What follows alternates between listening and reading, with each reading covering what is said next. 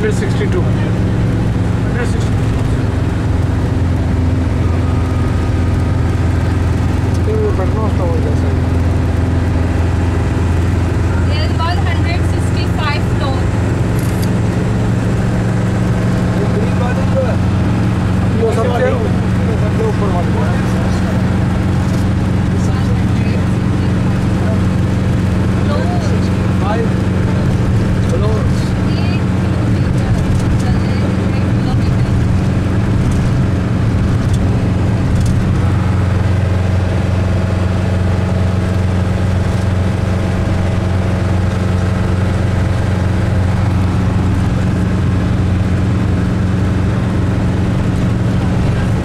पास ज़मीन अब बहुत महँगी हो Exchange